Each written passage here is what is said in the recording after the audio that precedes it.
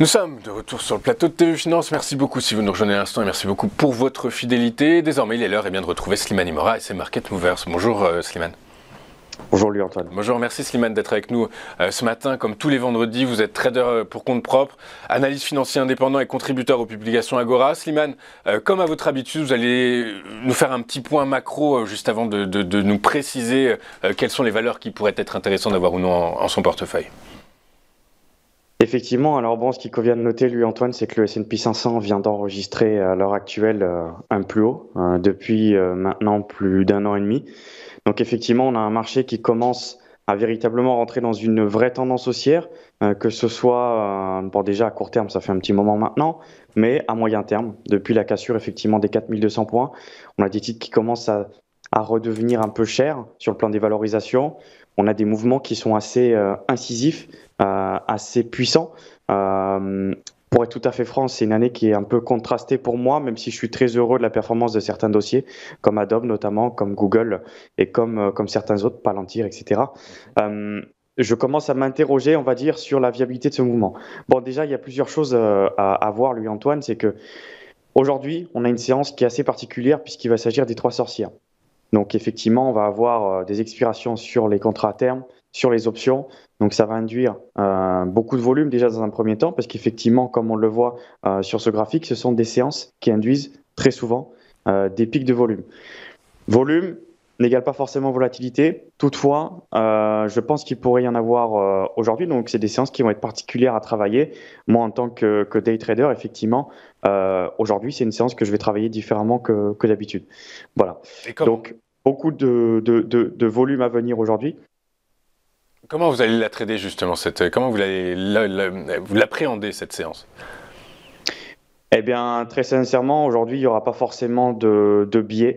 Euh, je vais vraiment mettre à profit des, des, mouvements de très très court terme.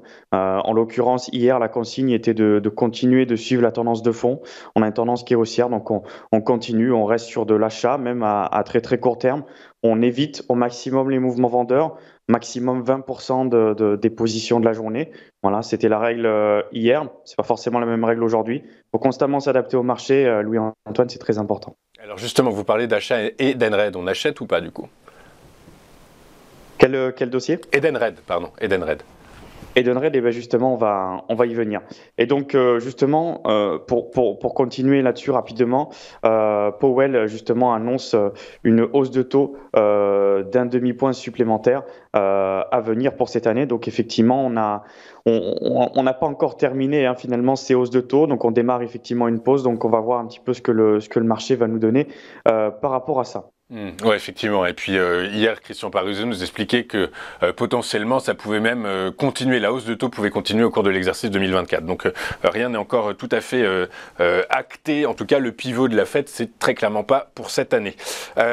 effectivement, alors j'ai dévoilé un petit peu, j'ai pris un peu de, un peu d'avance. Slimane, effectivement, et Denred, du coup, qu'est-ce qu'on fait avec ce titre qui a, qui a bien évolué? Est-ce qu'on, est-ce qu'on l'achète ou pas, du coup? Eh bien, effectivement, c'est un dossier qu'on avait euh, qu'on avait abordé il y a de ça quelques mois, Louis Antoine. C'est un dossier que malheureusement je n'ai pas pu euh, je n'ai pas pu tenir. Euh, on a eu on a eu du mal, vous voyez, à casser cette cette résistance à, à 48,9. ça a été assez assez scabreux. Toutefois, voilà, on avait une tendance qui restait qui restait assez haussière et on le voit sur le plan des, des, des cycles, sur le plan technique.